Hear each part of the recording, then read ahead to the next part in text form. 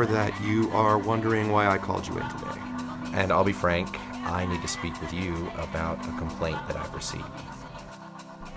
A complaint?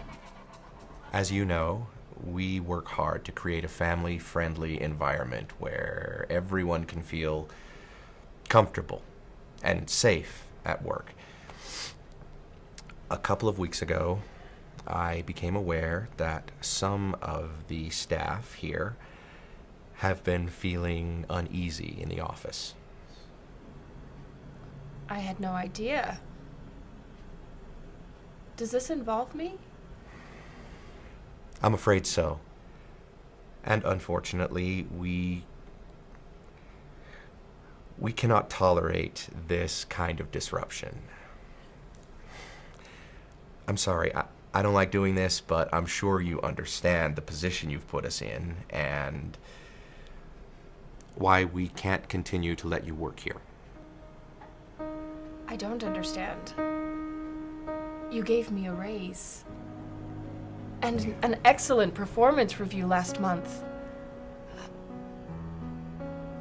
What did I do? Please. I need this job. I have a family that depends on me. Again, as you know, we aim to be a family friendly institution.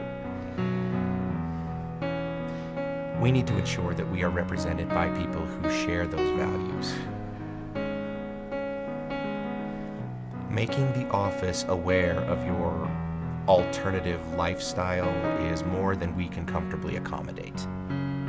And it puts us all in a very uncomfortable position. We cannot risk giving people the impression that we condone your life choice. Please take a minute to gather your personal items, and I will be happy to personally escort you from the building. Kiss me beneath the milky twilight.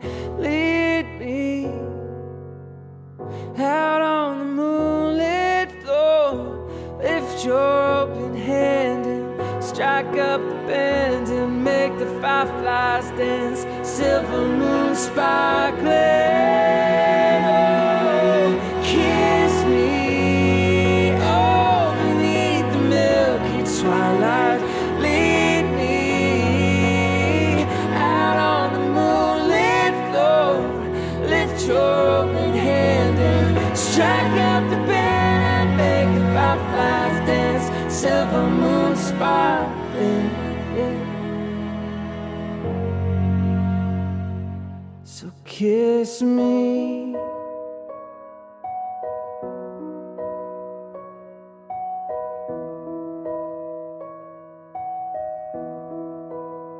So kiss me.